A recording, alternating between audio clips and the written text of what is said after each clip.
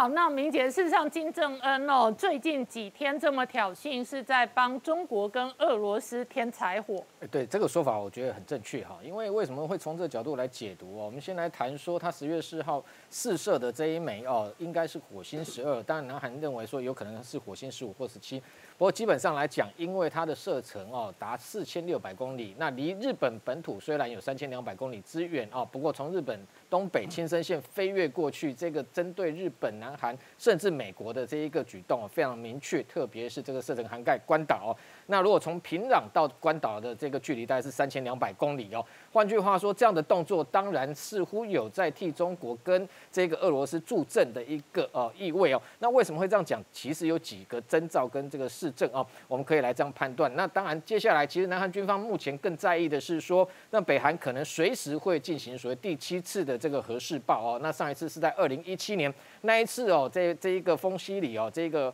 核试爆的试验场哦，那对外哦进行核试之后，宣称说他已经成功具备这一个氢弹的引。保那时候对外，金正恩还展示了一个很像花生米的一个这个核弹的一个装置。那那时候大概是十万吨的这个核当量。那现在这个南韩的情报单位监控发现说，接下来有可能第一个。它会来这一个试射所谓的 ICBM 洲际弹道飞弹啊，那因为洲际弹道飞弹属于战略的这种核武哦，我们看到我们刚刚谈到说，其实俄罗斯可能也会有类似的动作，因为它的发射，它的火箭要发射前属于液态燃料，必须要加注哦，这个液态燃料过程中就会被卫星给侦查哦，那所以接下来火星十五或十七，甚至他们研判 SLBM 哦，就浅色的洲际弹道飞弹，像这种北极星三型也有可能会接下来进行测试哦。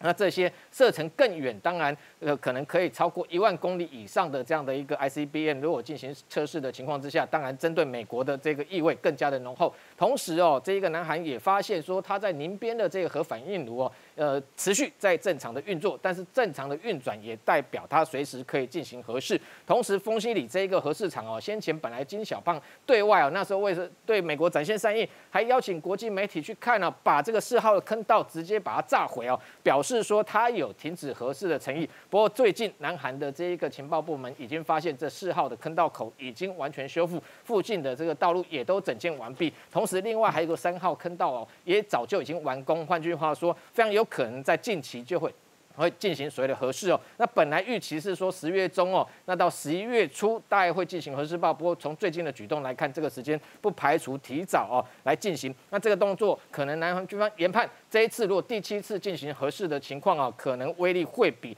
前六次都要来得大。那针对这个举动，刚刚谈到说。美韩美日分别出手来进行反制跟呃警告哦，包含像美韩昨天出动八架军机哦，中间四架 F 十六美军的，还有包含像南韩的 F 十五 K，中间 F 十五 K 还发射了空射型的 JDAM 哦，直联合直攻弹药。那今天则是美韩共同哦各发射两枚，包含像 ATACMS，还有包含像南韩自己的玄武二型。那美日共同今天也进行空中的军力展示哦，那出动了四架的美军 F 三十五之外，另外还有像这一个日本的 F 十五 J，还有像是 F two 他们的国造的战机，那都在警告南韩。不过刚刚看到最新的讯息是，雷根号航母打击群先前本来在九月二十五号访问釜山军港之后，接下来四天啊，在跟这个南韩进行联合的军演，结束之后，在十月初又在日本海进行美日韩三国的联合的这一个反潜操演。那本来已经近期。已经驶离这一个区域，但是今天最新的讯息，韩联社报道说，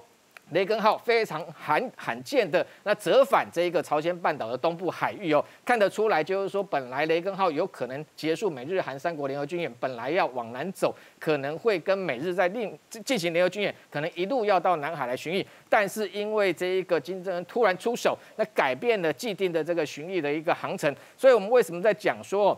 类似的这种情况啊，特别是金正恩有助攻的这个嫌疑哦，因为我们看到第一个俄乌战争从过去来讲，本来哦就有可能牵制整个美军全球这个兵力部署的一个这样的一个动作跟态势。那当然现在哦，本来我们看到近期因为中国的威胁加大，美日不断的加强联合的这个军事合作之外，我们看到日本跟美国都把整个战略中心从过去本来防备北面的俄罗斯跟北韩，现在这几年已经逐步移。这个把重心移到这一个南面的西南诸岛，甚至针对台海有事来做准备，但是今天哦，这个历经五年哦，这个北韩又开始蠢动的情况之下，变成朝鲜半岛出现新的变数哦，这个部分势必也会哦牵动到美军在整个东亚的一个态势跟部署，所以光这个雷根号航母打击群本来要可能执行其他任务，因为这次的导弹试射又折返，那来针对这个朝鲜危机来应应哦，这个部分其实哦，对于这个俄罗斯跟中国来讲，其实金正恩在这一个。导弹试射上面有助攻之意，其实就非常明显。好，我们稍后回来。